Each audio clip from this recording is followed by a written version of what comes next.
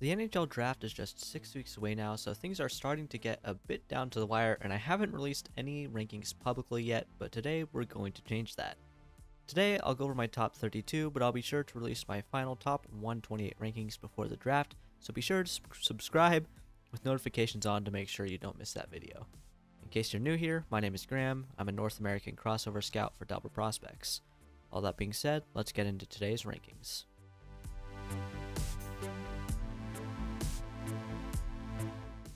For the sake of time, I'm going to put 17 to 32 on screen now so you can pause the video to get a good look at them, but I won't really be talking about these guys today. I'll be sure to talk in depth about everyone in at least my first round in my final rankings.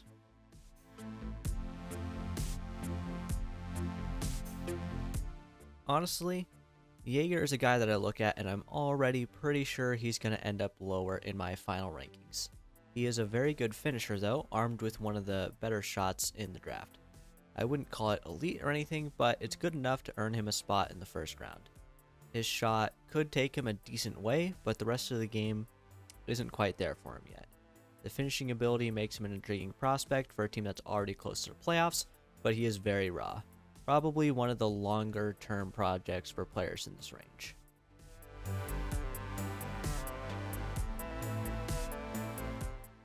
Gulyayev is an undersized, offensively minded defenseman. Good acceleration combined with a high top speed allows him to navigate the neutral zone with ease. He changes speed quickly to catch opponents flat footed. A lot of his offense comes on the power play, and a lot of it is rather simple, but he is capable of making more complicated plays.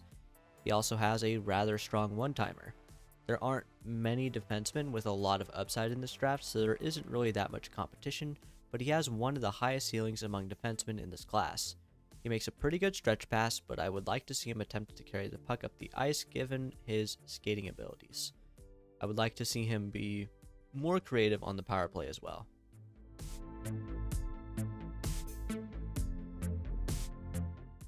I'm not the biggest fan of Barlow as a lot of people do have him ranked in the top 10, but I still like him quite a lot. On the power play, he reminds me a bit of Chris Kreider, not necessarily as a tip or deflection machine, but just as a solid net front guy that always seems to find just enough open space in front of the net to make a play. He's a gritty, gritty physical forechecker when he's engaged, and he can get under the skin of opponents while staying out of the penalty box.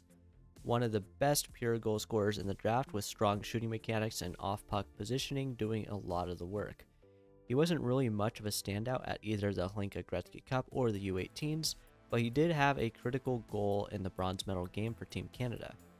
Unlike other pure finishers in this draft, his game is relatively well rounded, but I would like to see the hard work and tenacity that he brings to the offensive zone translate more to his play in the defensive zone as well. He also strikes me as the kind of guy that could step up his game in the playoffs as he already plays with an edge.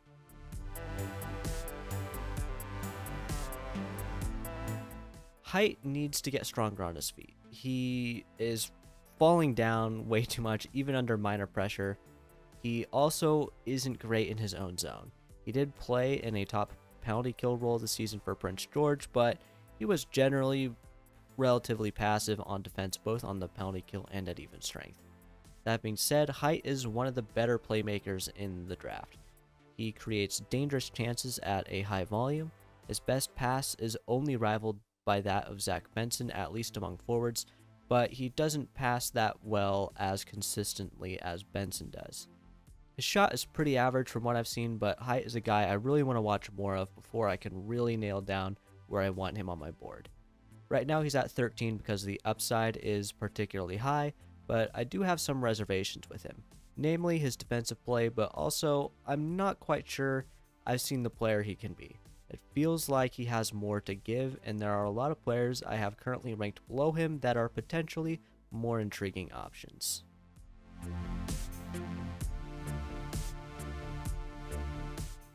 Danielson's counting stats may not scream top 15 pick, but he was on a really bad Brandon Wheat Kings team this year that only had four players crack the 40 point mark.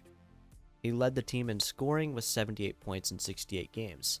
His upside may not be as high as some of the other players in this range, but he's a center with size who can move the puck. He's an above average skater, which helps his transition game, but what really makes him stand out is his playmaking.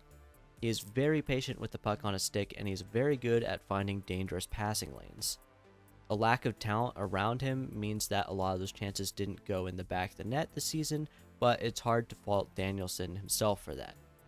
His shooting mechanics aren't great as he has a bit of a sweeping motion in his wrist shot with little deception or quickness in his release for most shots. That being said, his game should translate to higher levels of hockey relatively easily as he is a strong skater with solid puck protection and positioning. For that reason, I see him as a bit of a safe pick, but still with a reasonably high upside.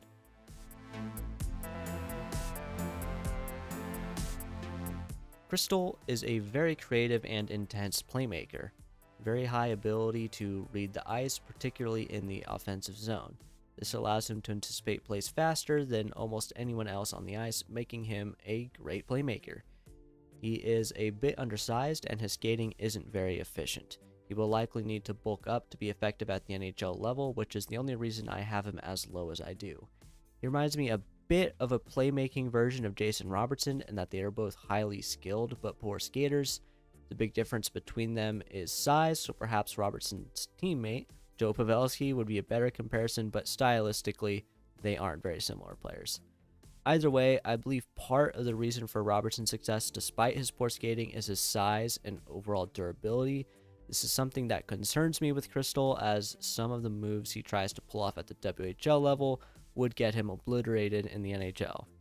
I would have him higher based purely on his skill level, but he does come with more risk than most players in this range.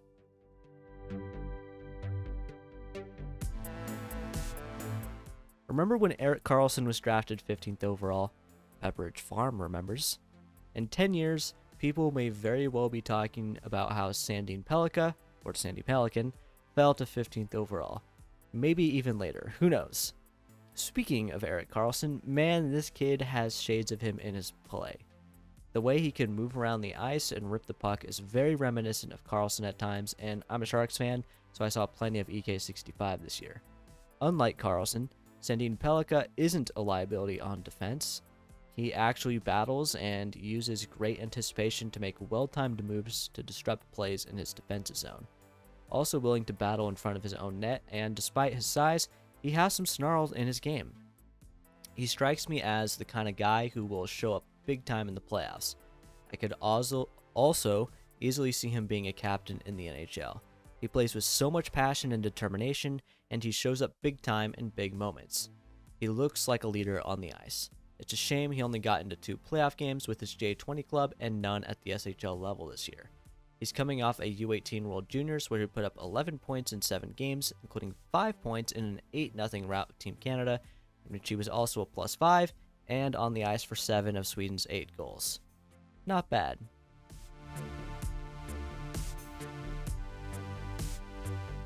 Simashev is my top ranked defenseman, just edging out Sandin Pellikka because of his dominant transition play, defensive impact, and ability as a puck carrier. If anything, I see him moving up my board, but no higher than 7th or 8th. He was at 11 when I started this script, so he's already moving up. He's elite in transition, extremely effective in shutting down opposing rushes in the neutral zone. He forces dump ins or creates turnovers at his blue line very often. He's also a plus skater on a 6'4 frame. That and above average stick handling makes him a force in transition with the puck on his stick. Have I mentioned he's good in transition yet? Involvement rate as a puck carrier could be higher given his skill level, but I'm not particularly worried about that. His playmaking ability may be a bit limited by his tendency to make safe and simple plays. He's also somewhat hesitant to use his shot, though it may only be average at best. Overall, he's an extremely smart player who is very effective defensively, particularly in keeping the puck out of his own zone in the first place. I believe his offensive ceiling is higher than the points would suggest as well could become one of the better top four two way defensemen in the league.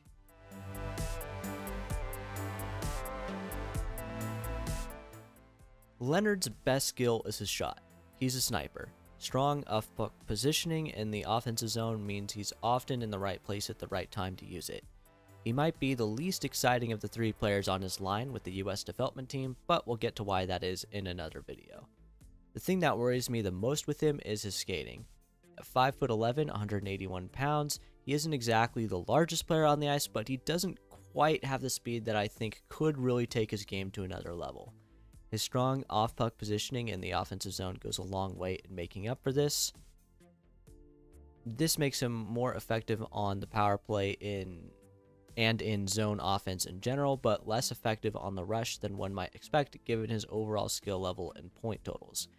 He does attempt power forward style net drives on the rush, and while he protects the puck well, his lack of separation speed in these instances means he's often settling for less ideal outcomes. He's also pretty strong on the forecheck, often working with his teammates to create turnovers. These skills should translate to the NHL relatively easily, so I think he has a reasonable floor as a top 6 goal scoring winger. If he does add another gear and a bit more muscle, I could see him being a regular 30 goal scorer on a top line role. He is listed as a center on Elite Prospects, but I don't think he will play center in the NHL.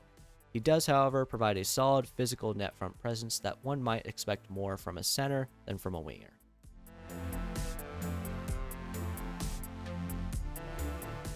Oliver Moore is one of the more fun players in this entire class to watch. His game is built on speed. He is speed. His acceleration and top speed are both very impressive, especially since he's always putting in maximum effort. Have I mentioned his speed yet? Additionally, he never seems to run out of gas. This alone makes him an interesting prospect, but when you add on the fact that he's a center, he's defensively responsible, he has very strong hands and a plus shot, and you've got yourself one hell of a hockey player. One NHL comparison that instantly comes to mind is Roope Hintz. He doesn't have Hintz's size, and the shot might not be quite as good, but it's pretty close. I try to be careful when making general comparisons to NHL players because I don't want fans to be disappointed when their prospect doesn't become the next McDavid, but I really believe in Moore and I think the Hintz comparison is fair. This is a player that could easily go top 3 in a lot of drafts. His speed and skill are so obvious, it's hard to imagine him doing anything other than centering a first or second line in the NHL in a couple of years' time. His, comp- his compete level is very impressive as well, and he seems like the kind of player that NHL coaches are gonna love to coach.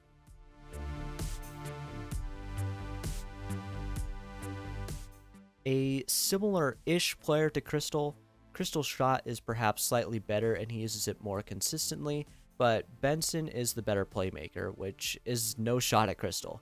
Benson is just an elite playmaker, probably the best in the class among all skaters.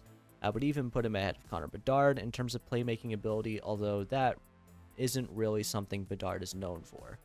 While Bedard generates a lot of assists through getting pucks on net and high level of traditional playmaking, Benson's vision and execution of difficult passes is simply unparalleled in this draft, and I have him at 6. That's truly a testament to how strong the top 10 of this draft is. Also, like Cristall, Benson is an average skater at best and is undersized. He is, however, quite tenacious with a nose for the puck. He is an overall well rounded player who never takes a shift off and is effective in all three zones. I love his work ethic. One of the few undersized skill guys that I can see working out in a top 6 or bottom 6 role. I would personally look for Benson to fall to the 8 to 12 range due to his size, but that team would be getting a steal. Also, look for Cristall to fall for the same reason, but he could potentially fall as far as the second round, as there doesn't seem to be as much hype around him.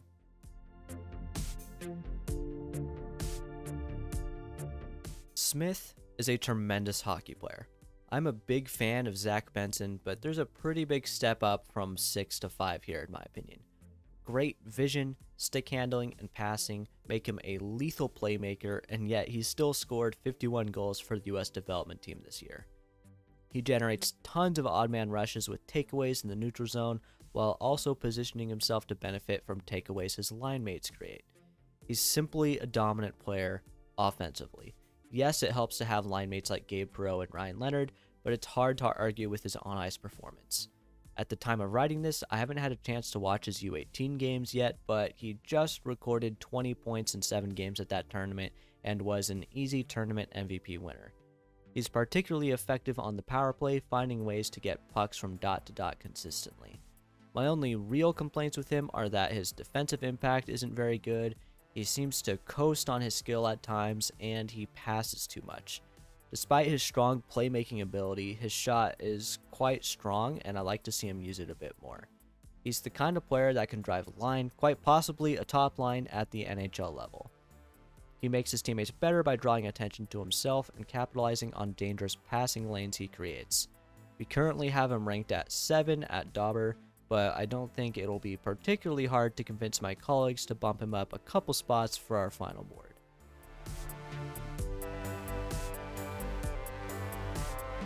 Leo Carlsson is going to be a captain for an NHL team one day. He plays a very mature game and looks like a poised veteran in the SHL, arguably the second best league in the world. The main difference between scouting on video and in person is with video you don't have the ability to ask player questions, but you can tell just by the way he plays on the ice that he is a natural leader. Another player to put up historic production in a European Pro League as a first time draft eligible this season. 25 points in 44 SHL games, and 9 points in 13 playoff games to cap off the season. He already has 92 games of pro experience in the SHL, which is extremely impressive for an 18 year old, and he's close to being a finished product already. Not to say he won't continue to get better, but he is NHL ready. He pressures the puck carrier in the defensive zone aggressively but smartly, chips in to protect his blue line as well, He's a hard worker, very smart, skates very well, and uses his size to his advantage. The way he scores is very translatable to the NHL, and the upside is huge. I can see a world where Carlsson becomes the next Mark Stone or John Tavares. So to summarize, he's big, strong, and he can do this.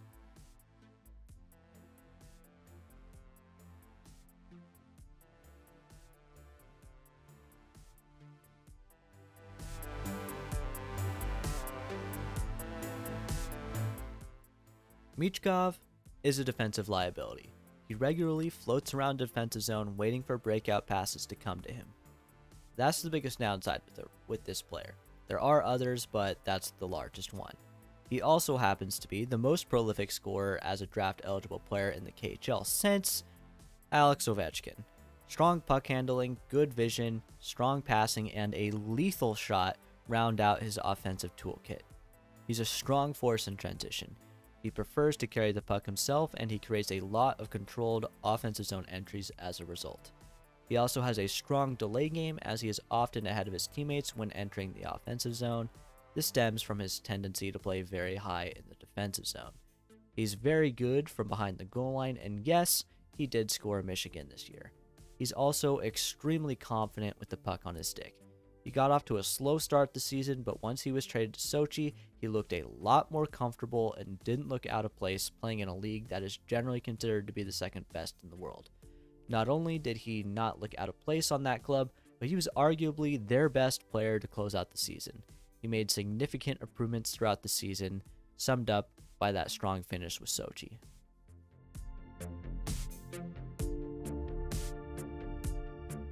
Fantilli would go first overall in a lot of drafts. He forms the second half of the best and certainly most hyped 1-2 since McDavid Eichel in 2015.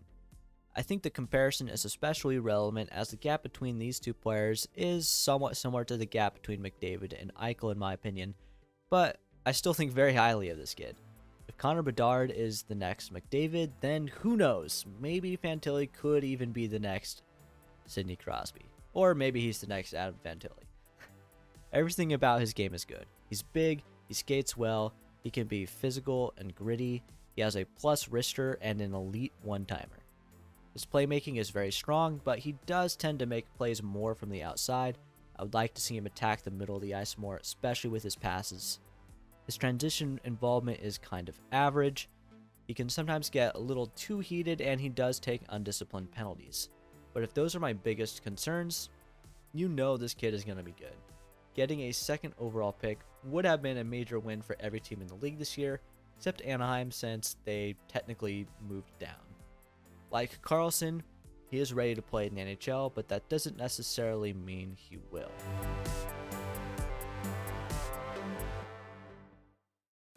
While I'm pretty certain you've already heard many of the names on this list, and you've almost certainly heard the name Adam Fantilli or Matvei Michkov, if there's one name I can say with 100% certainty every viewer of this video will have heard beforehand, it is Connor Bedard. That's just about the only thing I could think of to say about this kid that hasn't already been said. He is the most dominant Canadian Hockey League player since Connor McDavid. He very nearly carried a very bad Regina Pats team through the first round of the WHL playoffs, scoring 10 goals and 20 points in the 7 game series. He scored 23 points in 7 games at the World Juniors. In the regular season, he scored 71 goals and 72 assists for 143 points in 57 games in the WHL. Earlier in the season, I made a video discussing how he was on pace for 100 goals, which was admittedly a bit clickbaity, and I didn't think there was any way he would actually have he would actually score that many goals, but he actually got very close. Across 71 total games played this season, he recorded 90 goals. 9 0. I am somewhat surprised every time he takes a shift and he doesn't at least record a point. Elite skating, elite pace, elite stick handling, and an elite shot make up the core of his game.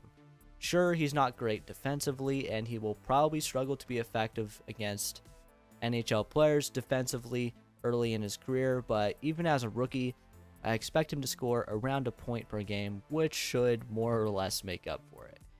He also is clearly pretty good at scoring goals, so don't be surprised if he scores 40 goals as a rookie, assuming he plays the full season and he's healthy. He's the kind of player that can single handedly change the short term fate of a franchise with a little bit of luck and really good goaltending to support him. Well, that's about it for these rankings. Let me know what you think down in the comment section below. I'd really like to hear you guys' feedback on this one.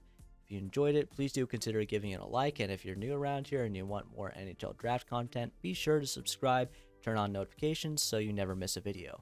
Also, Dobber Prospects now has a YouTube channel as well. At the time I'm writing this, there's no content there yet, but there will be soon. You want more draft content featuring myself and a bunch of people that are way smarter than me, I'll leave a link to that as a pinned comment below. That's all for this one. Thank you so much for watching.